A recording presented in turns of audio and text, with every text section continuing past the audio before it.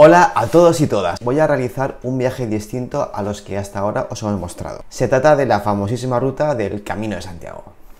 En mi caso no voy a ir solo, sino que me acompaña un gran experto, que es mi amigo Arturo, y juntos queremos realizar más o menos 300 y pico kilómetros repartidos en 13 días. Pero los queremos hacer de forma ininterrumpida, es decir, que serán 13 jornadas de andar todos los días. En estos vídeos no voy a dar recomendaciones relativas a lo que es en sí la caminata, la mochila, lo que hay, que llevar, etcétera, consejos en sí de, lo que es el camino, sino que más bien porque de eso ya hay mucho en internet. Entonces, más bien lo que me voy a centrar es a lo largo del recorrido, qué monumentos, eh, paisajes, gastronomía, o sea, todo lo que haya por el camino lo voy a describir de forma interactiva y todo eso, o sea, muy cultureta y muy artístico. He encontrado una aplicación del Eroski que se llama Camino, la cual es muy completa, ya que describe tanto eh, aspectos de, en sí del camino, de, cómo andar y, cómo hacer toda la ruta sin perderte, como también tiene mucha información cultural y de todo lo que hay que visitar. Además, esta aplicación eh, eh, se puede usar offline, es decir, no hay que estar conectados con, a internet, lo cual para mí pues, es muy práctico. Pero existen otras que tienen un aspecto más moderno y permiten una interacción social con otros peregrinos, etc. Pero en estas he encontrado una serie de pegas. Una es que unas requieren, la mayoría requieren estar conectados a internet continuamente, y la otra es que muchas solamente se ciñen a un camino solamente o a una cuenta autónoma. En cambio, la del camino Eroski, pues vale para todo. Pero antes eh, eh, os voy a hacer una breve intro histórica de qué es el Camino de Santiago.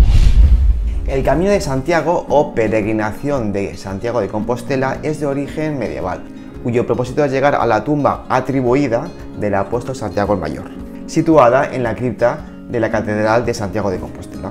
Esta peregrinación fue creada e instaurada en el siglo IX, pero se consolida a partir del siglo XI. Esto permitió una integración con Europa, sobre todo con el Imperio Carolingio. Así que si hoy encontramos alto románico en Galicia y en Castilla y León es porque esta villa permitió ese flujo de gente, y de comercio, y de cultura, y de apertura. Por lo tanto, no deja de ser una muy lucrativa vía comercial. Recordemos que en esa época el reino Astur estaba en guerra con los musulmanes, con lo cual la mayoría del dinero de las arcas iban para la guerra. Así que si se quería levantar templos, catedrales, pues había que buscarse la vida con otras formas de financiación.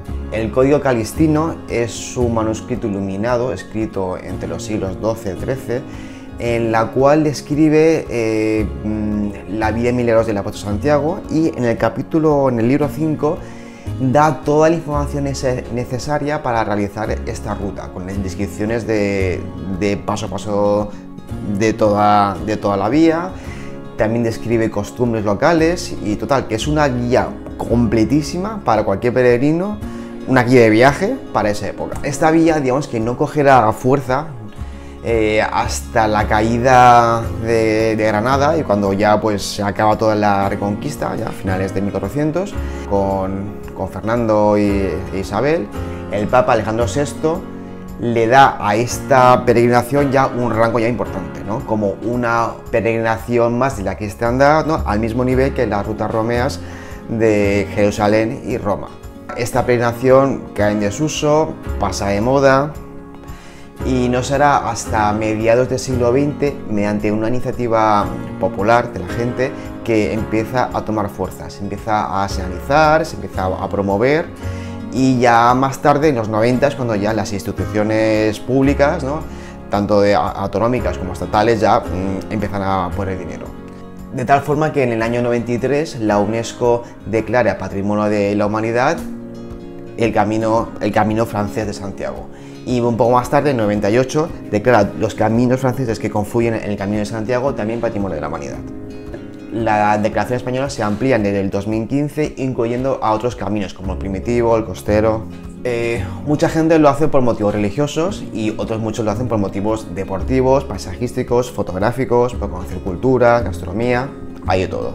Pero bueno, para los que quieran hacerlo por motivos religiosos y obtener la Compostela, primero tienen que conseguir la credencial del peregrino la cual se expide en casi todas las ciudades importantes, en, bien en iglesias o bien en asociaciones de peregrino. Yo en mi caso pues la he conseguido aquí en Castellón, que también me la facilitó mi amigo Arturo, y solamente me costó 2 euros. Con la credencial y con todos los sellos, todos los cuños que justifiquen que has, pasado, que has hecho toda la ruta y eh, para así demostrar que como mínimo has hecho 100 kilómetros, los últimos 100 kilómetros, a pie o a caballo, o los últimos 200 si has ido en bicicleta, entonces ya con esto ya sí que obtienes ya lo que es la Compostela, la cual en la Edad Media tenía el significado de que servía para reducir a la mitad el tiempo de que estuviese tu alma en el purgatorio.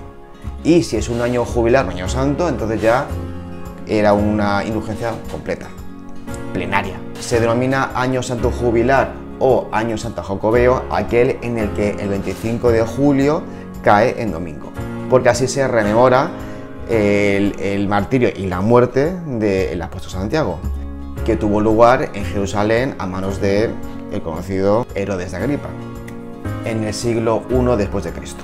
En estos años jubileos la afluencia de peregrinos se duplica e incluso hasta casi se triplica. Además, año tras año va aumentando la afluencia de peregrinos en el camino. Lo demás también eh, obtuvo el, el, Premio Príncipe de Asturias de la Concordia en el 2004 como lugar de peregrinación y de encuentro de personas y pueblos que a través de los siglos se ha convertido en símbolo de fraternidad y vertebrador de una conciencia europea. Así que ya, sin más preámbulos, en marcha.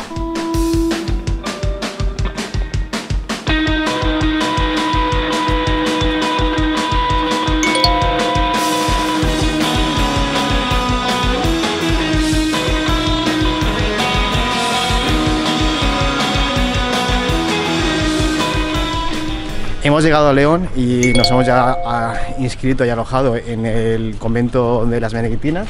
Sí. Así es. Carvajal.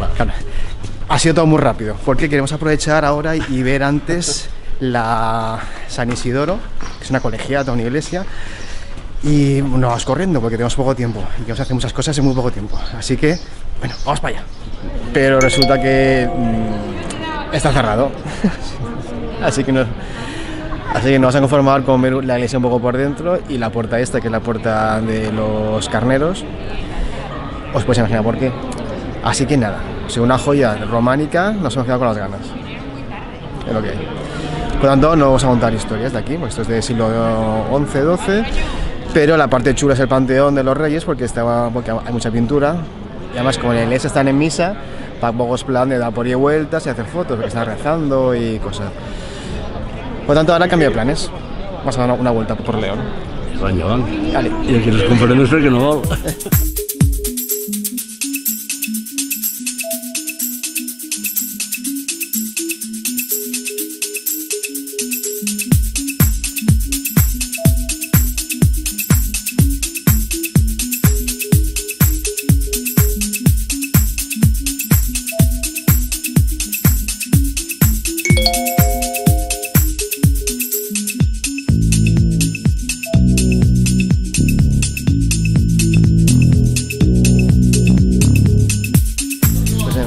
En León se pueden ver muchas cosas, pero hemos preferido tomarlo con calma.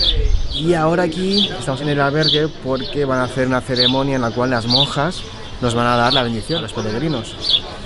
Así como el rollo va sobre el Camino de Santiago, queremos ver sobre todo pues, lo que tenga que ver con eso. Y bueno, yo que es mi primera vez, pues quiero probarlo todo. A ver qué tal.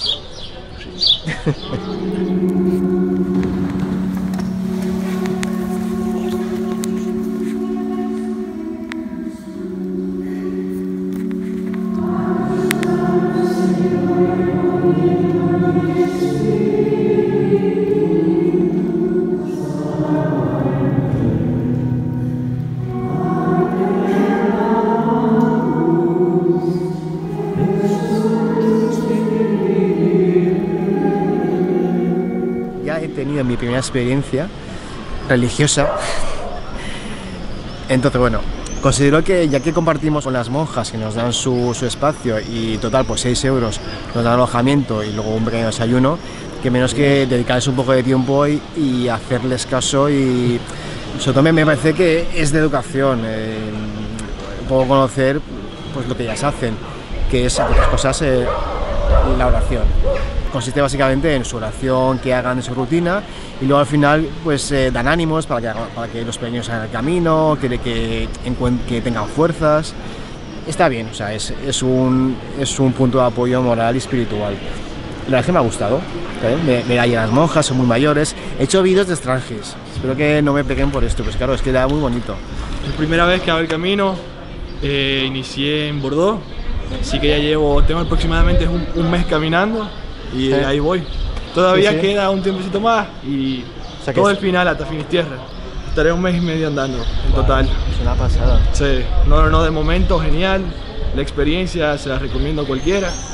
Mm. Eh, la cantidad de personas que he conocido de diferentes países y, y lo que he disfrutado no tiene, no tiene, sí, genial. ¿Has tenido mucha interacción con, con otros peregrinos? Sí, he tenido, he tenido la oportunidad de conocer gente de todos los países, eh, ¿qué digo?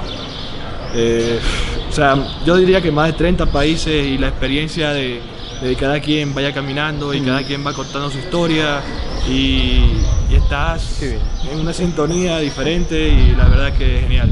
Pues encantado de conocerte. No, no, un placer, un placer. Y nada, buen Sí, sí. camino. Eso, buen camino, Buen camino. Que, que es la consigna. Hemos salido a tomar unas cañas que nos ha recomendado Raquel. Raquel. Raquel. Raquel es una experta en el... En el tapeo, hombre, sí. En el terreno Claro. Claro, no, lo puedes publicar y te Claro, dirán todos que Y sí. en el mundo, aquí, no, y, y en el aquí. mundo hospitalero. Ahora de eso. Pues sobre todo en el mundo hospitalero porque tú trabajas en el, en el hotel que está de las En la Benedictinas. plaza, ¿no? Entonces, pero claro, pero también te encargas de la parte de, de la, de la hospedería, ¿no? ¿Ya te encargas? ¿O no? Del albergue. Del albergue. Albergue. ¿Te encargas también? De. Claro, O sea de que- los hospitaleros y de Con mucha faena. muchas cosas. Ah, sí, eso. Nos has comentado un montón de experiencias, está muy, muy divertido. O sea, sí, no, a ver, porque para mí esto, todo esto es nuevo, entonces Ajá. sí que está muy, muy bien. Estás en la plaza más bonita de León, ¿eh? Plaza de León, De. ¿no? O Santa María del Camino, como la iglesia. Que, que está ahora en reforma, porque la va a dejar empedrada como está. Muy experimentada. Tienes experiencia, ¿no? ¿Tienes? Sí, hombre, pues sí, la. ¿Cuántos años llevas trabajando 17. aquí? 17 años. O sea, has visto cómo ha cambiado todo el camino y todas Claro, las y todas cosas. obras, sí, Todas las el- obras. El monasterio y la ya- ya- iglesia. Sí, pues, muchas gracias, muy amable. Nada, bien, muchas gracias a ti. ¿Estás un sándwich? Ah, ay, yo qué dije. Mira, Raquel, bobo. qué bonita, es la bonita de, de, de todos los caminos. ¿eh?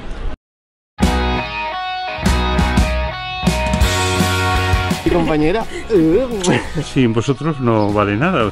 Yo si metes una otra vez, hace merda, pero así. Hace calorazo, o sea, hemos pillado ola de calor.